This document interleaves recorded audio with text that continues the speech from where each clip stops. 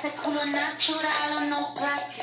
Lo que toco lo hago bombastic. Todo eso gila a mí me da mastic.